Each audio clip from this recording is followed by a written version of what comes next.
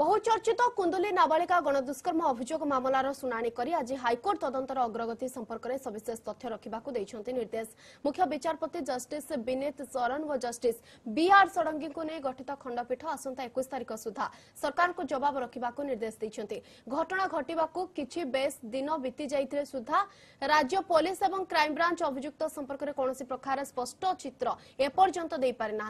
মামলার পরবর্তী শুনানি নভেম্বর একুশ তারিখে হব বলে জনাপড়ছে আজি মাননীয় মুখ্য বিচারপতি এ বিষয়ে নিজের গম্ভীরতা প্রকাশ কলে কে একটা সিরিয়স ইস্যু এবং সরকার আসন্তা একুশ তারিখ দিন তাঁর তদন্তর অগ্রগতি বিষয়ে এফিডেভিট ফাইল করি ফাইল করা কুযাই পীড়িতার जो मेडिकल जांच होता से भी सन्देह प्रकाश कर सरकार पुलिस जहाँ जो प्रकार जो तदंत करें घोर सन्देह प्रकाश करें भावुँ जे